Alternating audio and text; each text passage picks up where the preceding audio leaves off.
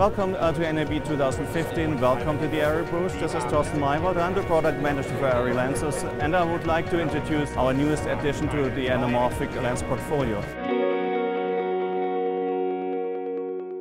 I would like to introduce you to our newest lens addition. It's the anamorphic ultra-wide zoom 19 to 36 millimeter what we have here on my side.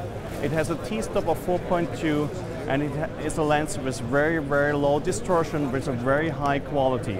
It has a very good center-to-edge performance and very low creasing and it has all the benefits that you already know from our master anamorphic lenses what we have introduced in 2012.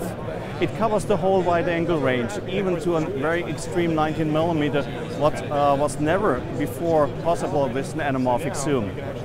Anamorphic shooting in the wide angle was always very difficult because of distortion, because of uh, some compromises in quality, especially at the edges at the image height.